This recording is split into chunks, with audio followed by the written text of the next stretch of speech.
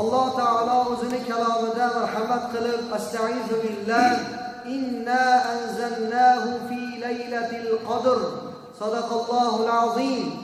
Albatta biz uni ya'ni qur'onni qadr kechasida nozil qildik deb marhamat qiladi. Ya'ni qadr kechasida alloh taolo o'zini kalomini lavhul mahfuzdan dunyo osmoniga nozil qildi. Endi qadr kechasi qaysi kecha deyilsa ulamolarimizni ba'zilari aytgan ekanlarki qadr kechasi yil o'n ikki oy davom etishligi mumkin. Yana ba'zilar aytdilarki qadr kechasi ramazonning avvalidan oxirigacha o'tadigan kechalari. Va xususan hadis muborakalarda keladi qadr kechasi ramazoni sharifning oxirgi o'n kunligida. Bu xususida janobi payg'ambar alayhissalotu vassalom o'zlarini hadis shariflarida aytadilarki taharrau laylatal qadri fil ashril awakhir fi ramazon sadaqa rasululloh sollallohu alayhi vasallam. Qadr kechasini ramazon sharif oyini oxirgi o'n kunligidan izlanglar dedilar. Qadr kechasini ramazon sharif oyini oxirgi o'n kunligidan istang oxirgi o'n kunligidan topasiz dedilar sahobalar yana so'rashaverdi yo rasululloh qachon o'sha deb ha deb so'rab janobi payg'ambar alayhissalotu vassalomdan savol qilishgandan keyin rasulimiz alayhissalotu vassalom yana bir bashorat xushxabar aytdilarki تحروا ليلة القدر في الوتر من العشر الأواخر من شهر رمضان dedilar Ramazon sharif oyini oxirgi o'n kunligini tog' kechalaridan istang qadr kechasini topasiz dedilar. Oxirgi o'n kunlikni tog' kechalari. Yigirma yigirmadan yigirma birga o'tar kechasi. Yigirma ikkidan yigirma uchga yigirma oltidan mana yigirma yettiga o'tar kechasi. Endi hadisi shariflarda mana shunday bayon qilingan bo'lsa sahobalarni ichlarida muhtaram birodarlar shayxul qurro degan nom olgan sahoba o'tganlar. Ubay ibn kab roziyallohu anhu qur'on ilmi bo'yicha qur'on tafsiri bo'yicha buyuk sahoba mashhur bo'lgan sahoba ubay ibn kab roziyallohu anhu aytadilarki kana yahlifu annaha laylatu sab'in va 20 Ubay ibn Kab roziyallohu anhudan rivoyat qilishadi. Ubay ibn Kab roziyallohu anhu qasam ichib aytdilarki, Qadr kechasi Ramazon sharif oyini 26dan 27ga o'tar kechasidir, qasam ichib aytaman dedilar. Endi kitobni sohiblari aytadilarki, "Was-sahabiyyu la yahlifu illa ala haqqin." Sahoba ikromlar ular qanday zotlar? Ular botilga qasam ichmaydi. Yolg'onga, bo'lmagan narsaga qasam ichmaydi u zotlar. Haqiqatga, aniq bo'lgan narsaga sahobalar qasam ichadi. Demak, 26dan 27ga o'tar kechasi ekanligiga qasam ichib aytgan ekanlar mashhur sahoba Ubay ibn Ka'b roziyallohu anhu. Alhamdulillah birodarlar, mana bugun Ramazon sharif oyini 26dan 27ga o'tar kechasida turibmiz.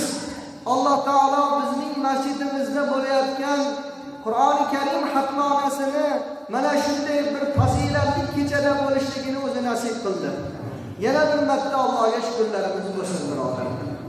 Endi biz umid qilamiz, albatta biz bugun Qadr kechasida turibmiz.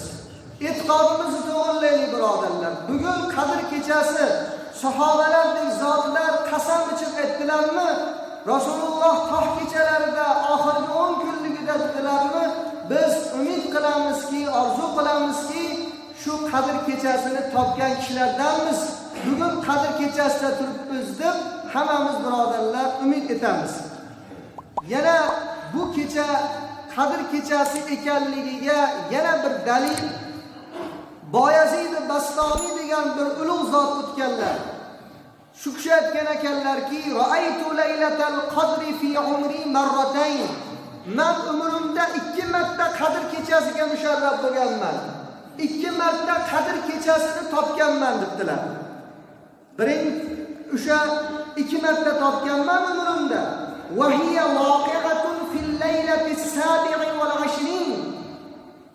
u yigirma oltidan yigirma yettiga o'tar kechasi edi deb marhamat qilgan ekanlar. Boyazid bastomiy ulug' zotlarni bilasizlar a shu kishi aytyaptilar ikki marta qadr kechasini topganman u yigirma oltidan yigirma yettiga o'tar kechasida bo'lgan edi deydilar. Endi mana bu birodarlar hadisdan ulug'larimizdan bu dalil. Endi qur'ondan ham dalil bor ekan. Ramazon oyini yigirma oltidan yigirma yettiga o'tar kechasi qadr kechasi ekanligiga qur'ondan ham dalil bor ekan hujjat. U qaysi deyilsa haqoiqul hanafiy degan kitobda aytadilarki qadr surasida alloh subhanahu va taolo laylatul qadr degan so'zni uch marta gapirdi. Birinchisi inna anzalnahu fi laylatil qadr ikkinchisi va ma adraka ma laylatul qadr uchinchisi laylatul qadri xayrun min alfi shahr endi laylatul qadr degan so'zni harflarini sanasak birodarlar to'qqizta ekan. To'qqizni uchga ko'paytirsa yigirma yetti bo'lar ekan. Ana shunga ishora o'laroq deydilar alloh taolo qur'onda qadr surasida uch marta marhamat qildi deydilar. Demak birodarlar bugun ishonamiz umid qilamiz inshaalloh qadr kechasida turibmiz birodarlar. Endi qadr kechasi o'zi nima degani qadr kechasi deyapmiz a qadr kechasida qur'on nozil bo'lgan ekan deyapmiz. Qadr kechasi ming oydan afzalroq yaxshiroq savobliroq kecha deyapmiz. O'zi qadr degani nima degani deyilsa ulamolarimiz aytadilarki qadrni ma'nosi birodarlar qadri ulug' kecha sharafli kecha. Biz arab tilida shunaqangi bor fulanun zu qadring deb qo'yadi falonchi qadrli kishi deydi. Demak qadr kechasidan murod xudoning nazdida qadri ulug' bo'lgan kechadir degan ekan yana bir ma'nosi qadr kechasining ma'nosi birodarlar taqdirul xaloiq bandalarning bir yillik taqdirotlari bitiladigan kecha taqdirot kechasi. Bunga qur'onda alloh taolo duxon surasida astaizu billah fiha yufraqu kullu amrin hakim deydi u kechada qadr kechasida har bir hikmatli ishlar ajrim etiladi va hal qilinadi deydi demak kelgusi ramazonni qadr kechasigacha bo'ladigan bandalarning taqdirotlari hal qilinadigan rahmat azob daftarlari jabroil alayhissalotu vassalomga nabototlar mikoil alayhissalotu vassalomga daftari. Azroil alayhissalotu vassalomga kelgusi qadr kechasigacha kimlar vafot qiladi? Shuni ro'yxatlari beriladigan kecha degan ekan.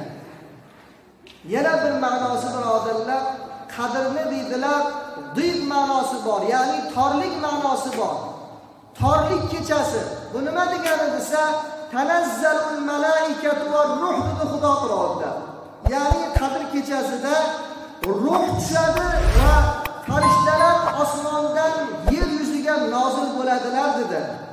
Demak farishtalar va ruh ruh kim desa jabroil alayhissalotu vassalom tushar ekanlar. Endi farishtalar osmondan yerga shu qadar ko'p tushadiki uni adadini hisobini hech kim bilmaydi shu qadar ko'p tushganidan dunyo tor bo'lib ketadi. E, dunyo farishtalarga to'yib ketadi shuning uchun.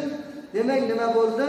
Qadr kechasi ya'ni torlik kechasi deb birodarlar nomlandi.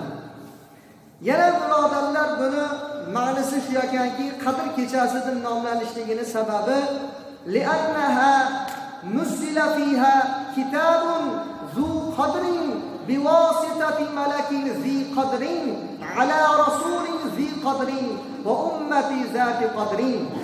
Ya'ni bu kechada Alloh subhanahu va taoloning qadri ulug' bo'lgan kitobi qadri ulug' bo'lgan farishtaning vositasi ila qadri ulug' bo'lgan payg'ambarga va qadri baland bo'lgan ummatlarga nozil bo'ldi. demak qadr kechasini deb nomlanishligidan maqsad nima ekan xudoni qadrli bo'lgan sharafli bo'lgan kalomi o'zini nazdida qadri baland bo'lgan farishta jabroil alayhissalotu vassalom vositalar ila qadri baland bo'lgan payg'ambarga va qadri ulug' bo'lgan ummatga qur'oni karim nima bo'ldi birodarlar? Nozil bo'ldi. Yoki ulamolar aytadilarki qadr kechasi deb nomlanishligidan maqsad bu kechani. Bu kechada qilingan toatlarning xudoning huzurida qadri ulug' e, sharafi baland. Ming oydan afzalroq ajr mukofotni beradimi?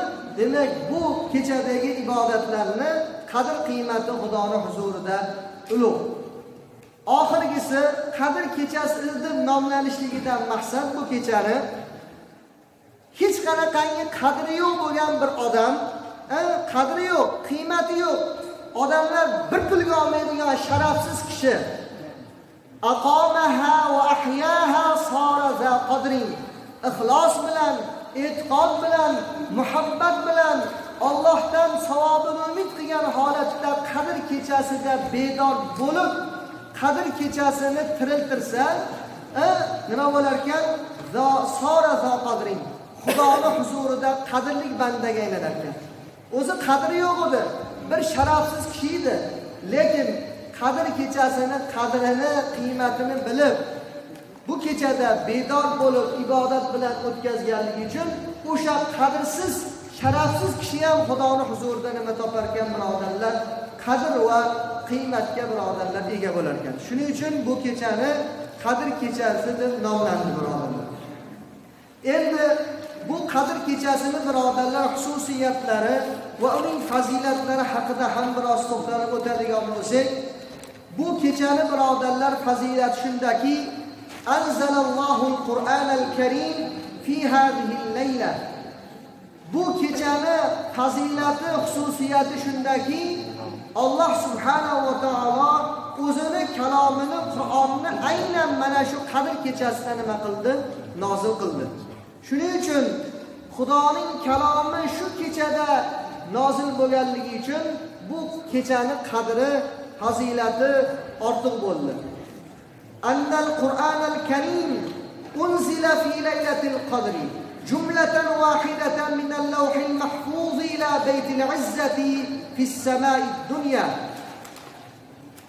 Tafsir ibn kasirda aytadilarki ibn abboslar rivoyat keltirib qur'oni karim qadr kechasida lavhul mahfuzdan jumlaligicha to'la holatda dunyo osmoniga nozil bo'ldi. Ana shuning uchun demak bu kecha fazilatli kecha bo'ldi. Hop ikkinchisi nima uchun bu kecha fazilatli ortiq bo'ldi qolgan kechalardan deyilsa azzama alloh taolo o'zini kalomida bu kechani sha'nini qadrini ulug'ladi. Va aytdiki va ma qadr ey do'sti habibim muhammad mustafa sollallohu alayhi vasallam qadr kechasini naqadar ulug' kecha ekanligini sizga nima bildirdi dedi qayerdan bildingiz buni naqadar ulug' kechaligini dedi ha demak bu kechani qadr qiymatini sha'nini allohning o'zi ulug'ladi سفيان بن عيينة aytadilar كل شيء قال فيه وما أدراك فإنه أخبر به وكل شيء قال فيه وما يدرك فإنه لم يخبره به وقد أخبرنا الله أنها خير من ألف شهر endi nima bildirdi sizga qadr kechasini ulug'ligini deb turib orqasidan alloh taolo yana laylatul qadri xayrun min alfi shahr deb qo'ydi ey do'sti habibim alayhissalotu vassalom bilib qo'yingki qadr kechasi ming oydan afzalroq ortiqroq yaxshiroq kechadir deb alloh taolo marhamat qildi bu kechani uchinchi fazilati birodarlar أن العبادة والعمل الصالح فيها من الصيام والقيام والدعاء وقراءة القرآن خير من العمل في ألف شهر ليس فيها ليلة القدر bu kechadagi qilingan solih amallar ro'zalar bo'lsin kechalardagi bedorliklar bo'lsin duoyi takbirlar bo'lsin bu kechadagi qur'on tilovatlari bo'lsin qadr kechasi bo'lmagan kechalardan ming oy afzalroq ortiqroq savoblarga bandani ega qiladigan kecha. Bu kunda o'qilgan bir rakat namoz ham ming oy o'qigan namozdan afzalroq. Bu oydagi qur'on tilovatingiz ham shunaqa. Duoyingiz ham takbiringiz tahliliz hamma solih amallaringizga alloh taolo ming barobar savob beradi. Yana mana shu joyda birodarlar yaqinda o'qib qolgan edim. Mana bir foydali narsa. Mana qur'oni karimda alloh taolo aytyaptiki qadr kechasi ming oydan afzalroq kecha deyapti shu oyatni tafsirida ulamolar aytibdilarki ilgargi davrlarda deydilar arablar ming raqamidan boshqa ortiqroq raqam borligini tasavvuriga keltirmagan aqliga. Chunki arablarni ko'p gapi alfa alf deydi ming ming deydi. Million trillion degan raqamlar bor unaqangi raqamlar borligini arablar bilmagan ekan. Balki eng ko'p narsani aytmoqchi bo'lsa alf alf deb qo'ygan ekan ming ming deb ya'ni o'sha shu ma'lumotni yozgan zot aytadilarki alloh taoloni bu oyatdagi qadr kechasi ming oydan afzalroq kecha degani faqatgina ming oydan afzal deb o'ylab qolma deydilar. Balki arablar o'sha davrlarda mingdan boshqa raqam borligini bilmaganligi uchun deydilar. Ular tushunishligi uchun ko'plikni ifoda qilgani mingni ishlatgan. Aslida u ming oydan ham afzal savobi bu kechani uni hisobi yo'q. Uni raqamlar yetmaydi bu kun bu kechada qilgan toat ibodatlarimizga beriladigan savoblarga raqam yetmaydi aslida. Tushuntira oldimmi? Arablar endi arabiy tilda nozil bo'ldi qur'on. Shuning uchun ming so'zini ishlatdi raqamini deydilar ulamolar. Yana endi birodarlar bu kechani fazilati لا يخرج الشيطان معها ودليل ذلك ما أخرجه ابن أبي شيبة عن ابن مسعود رضي الله عنه أن النبي صلى الله عليه وسلم قال إن الشمس تطلع كل يوم بين قرني الشيطان إلا صبيحة ليلة القدر dedilar ya'ni har kuni quyosh chiqsa shayton. Shaytonning ikkita shoxini o'rtasidan chiqadi quyosh dedilar. Illo sabihata laylatal qadr. Magaram qadr kechasining tong tongi shaytonni ikkita shoxini o'rtasidan chiqmaydi xolos degan ekanlar. Ana shuning uchun ham bu kecha birodarlar fazilatli kecha bo'ldi. Tusaffidu maradatul jin. Bu kechada jinlar kishanlanadi.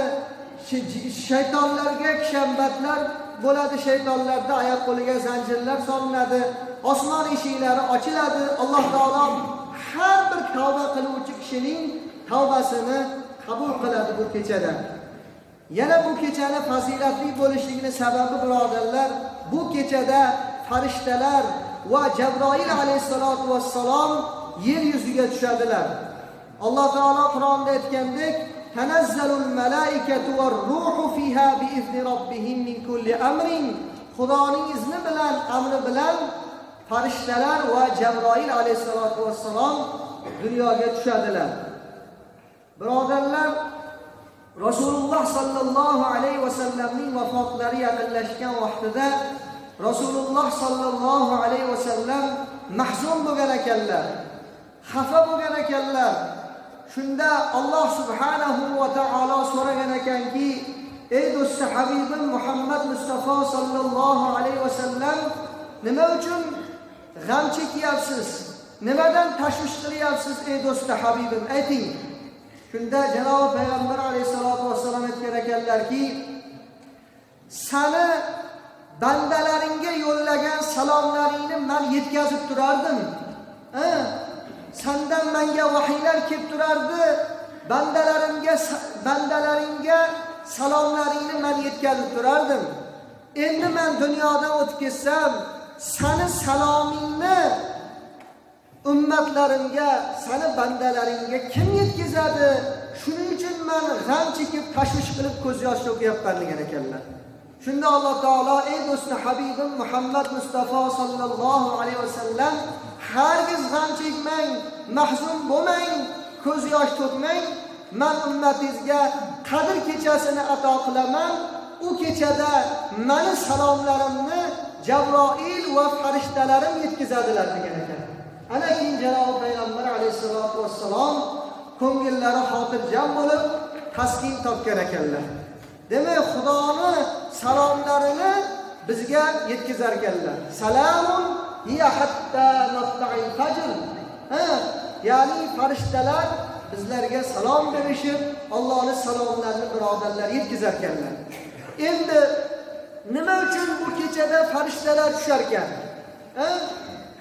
boshqa kunlar boshqa oylarda mana bunaqa emas. Nima uchun qadr kechasida shu qadar ko'p farishtalar tushadilar deyilsa ulamolar aytadilarki qadr kechasida ummati muhammadiya bedor bo'lib kunduzi ro'za tutgan kechqurun mana hatmi qur'onlarga kelib ham qur'oni karimni xatmonasi ham qadr kechasi g'aflat bosib ha o'tkazib yubordim g'aflat bilan uxlab bemazagarchilik bilan endi hech bo'lmasa oxirgi o'n kunligini g'animat bilay deb uxlamasdan masjidlarda jam bo'lib qur'oni karimga somiy bo'lib duo qilib xudodan maqsadini so'rab ko'zda yosh bilan o'tirgan paytda alloh taolo farishtalarga bu ummatni namoyish qilib aytar ekanki ey farishtalarim ko'ringlar bir vaqtlar man insonni yarataman odamni yarataman deganimda yer yuzida qon to'kadigan fasod qiladigan odamlarni yaratasanmi? Yaratma. Har qancha ibodat bo'lsa biz sanga qilaveramizu lekin odamlarni yaratmagin degdilaringmi endi qarang bir ko'ringlarchi bandalarim qanday holatda o'tiribdi bugun? Ro'za tutib bedorlikda charchab zaiflik bilan kechalarda Allohning kalomiga somin bo'lib qadr kechasini topaman deb masjidlarda jam bo'lib o'tiribdilar. Qani ko'ringlarda ularga endi sizlar salom beringlar deb alloh taolo farishtalarni birodarlar tushirar ekan maqsad shu deydilar. Ana farishtalar tushganligi uchun ham bu kecha birodarlar fazilatli kecha bo'ldi. Aksaru fil ardi min adadil huso farishtalarni adadi ko'chadagi mayda toshlardan ham ko'ra ko'proq bo'ladi bu kechada. Val malaikatu tanzilu bir farishtalar osmondan xudoning rahmatlarini barakotlarini sakinatlarda olib tushadilar. Va alloh subhanahu va taoloni bir yillik taqdiroti bilan farishtalar osmondan tushadilar. Shuning uchun bu kecha birodarlar fazilatli kecha bo'ldi. Endi yana bu kechani fazilatiga hazil qo'shadigan narsa annal amna vassalama yuhallu fi hadhihi laylati ala ahli iymon bu kechada ahli iymonlarga amnu amniyat tinchlik xotirjamlik salomatlik tasmini dil nozil bo'ladi. Chunki alloh taolo aytadiki salamun hiya hatta matla'il fajr. Bu qadr kechasi tong ot qadar salom kechasidir. Ya'ni tinchlik kechasidir sakinat kechasidir va farishtalarni bandalarga salom aytadigan kechasidir. Fahiya salamun minasharri kulli. Bu kecha hamma yomonliklardan salomat bo'lgan kecha. Fala yakunu fiha illa salamatu. Bu kechada faqat salomatlik yaxshilik bo'ladi.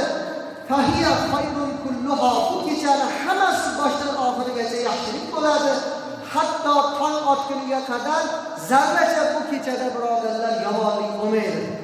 Ana shuning uchun birodarlar bu qadr kechasi fazilatli kecha bo'ldi. Endi muhtaram aziz birodarlar buni gapirsak gap ko'p. Buni gapirib bu kechani fazlini birodarlar qadr qiymatini intihosiyni tugatib hammasini gapirib berolmaymiz. Vaqtimiz qisqa. Lekin bir hadis sharifni bayon qilaman.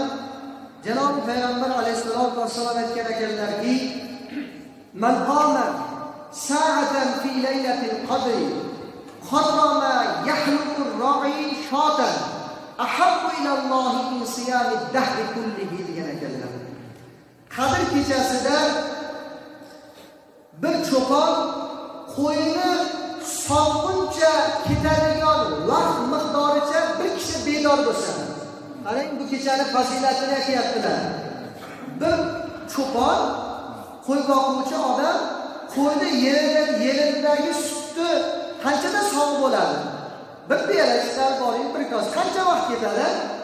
Shu miqdorchalik bu kechada uxlamasdan bedor bo'lsa shu miqdorda bedor bo'lganligi Allohga suyukliroqdir bir yil to'xtamay ro'za tutgandan degan bir yil to'xtamay ro'za tutgandan afzal xudoga yoqimli suyukli ekan birodarlar shu miqdorda bo'lsa ham bu kechada bedor bo'lish. Maqsad g'aflatda qolmaslik kerak ekanda. Uxlamasdan ozgina bo'lsa ham shu miqdorda bedor bo'lsa xudoga birodarlar bir yil tinimsiz nafl ro'za tutganingizdan afzalroq ekan shu endi bu yog'ini eshiting.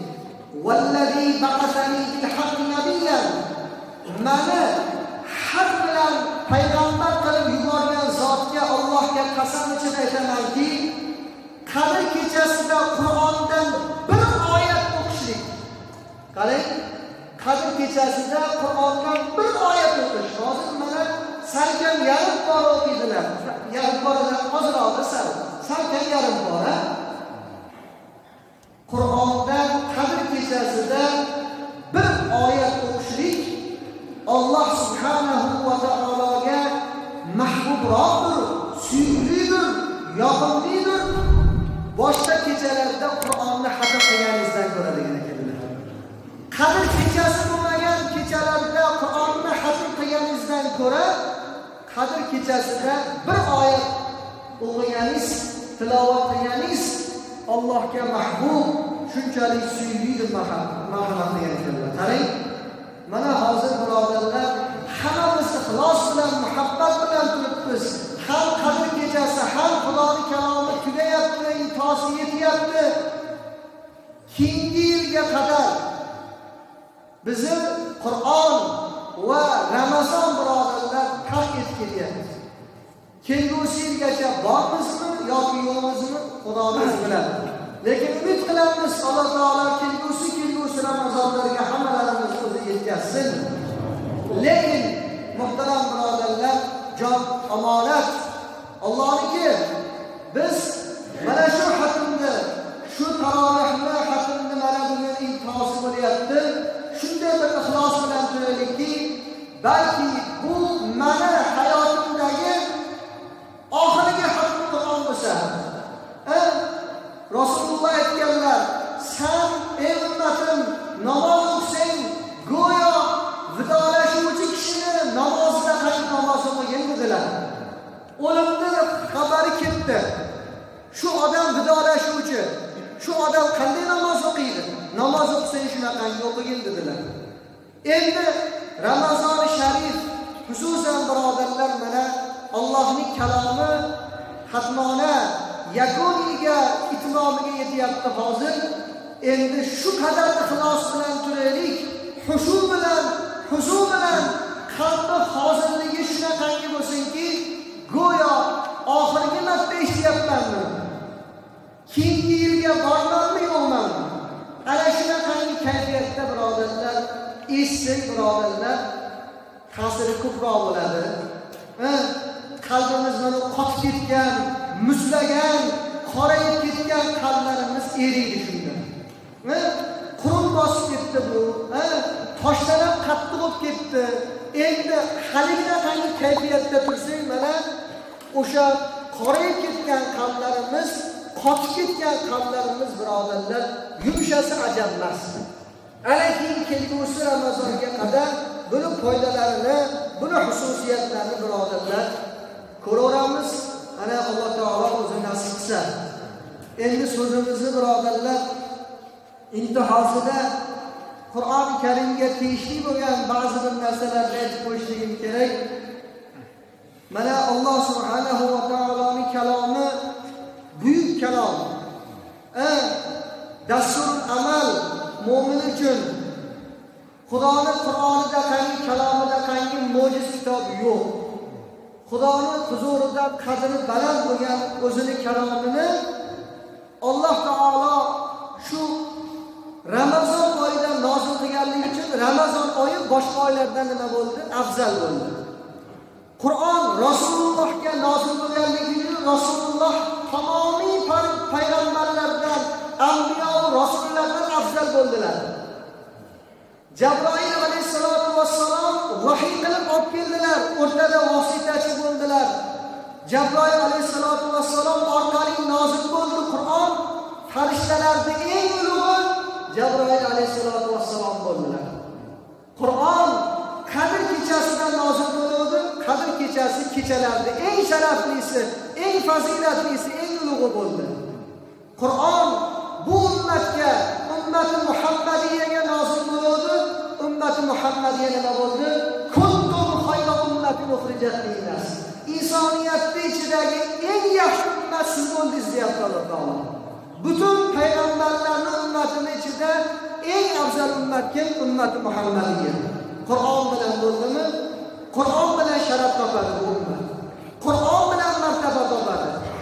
Qur'onni tarqilar ekanmiz birodarlar bu ummat xorlikka yuz ulug'lar aytyaptilar ilgarigi davrlarda g'ayridinlar yahudlar islomni dinni musulmonlarni sindiramiz degan vaqtida nima tavsiya qilamiz nima maslahat berasizlar deganda o'sha din dushmanlari aytgan ekanki bu musulmonlarni ayollarini boshidagi ro'molni olib qur'onini o'rab boshiga qo'yib qo'ysang bu ummat xor bo'ladi degan ekan. Xotinlarni boshidan ro'molini olasan o'sha ro'molga qur'onini tugib qo'yasan. Qur'on o'qimay qo'yadi. Qur'on tilovat qilmaydi qur'onga muhabbat qilmay qo'yadi. Keyin bu ummat xor bo'ladi bu ummatni sindirish bu musulmonlarni yo'q qilish oson bo'ladi degan ekan. Qachon qur'onni qo'yaversak qur'oni karimni o'qib qo'ysak qur'ondan uzoqlashsak qur'onga muhabbatimiz yo'qolsa bilingki birodarlar hargiz hargiz dunyoda ham oxiratda ham azizlikka maqomga martabaga sharafga birodarlar ega bo'lmaymiz shuning uchun birodarlar bilishligimiz kerak bu qur'on shunaqangi qur'onki rasululloh sollallohu alayhi vasallam hadislarda aytadilar iqroul qur'an فإنه يأتي يوم القيامة شفيعا لأصحابه ey ummatlarim qur'onni o'qinglar. Chunki qur'on qiyomat kunida egasiga shafoatchi bo'lib keladi dedilar.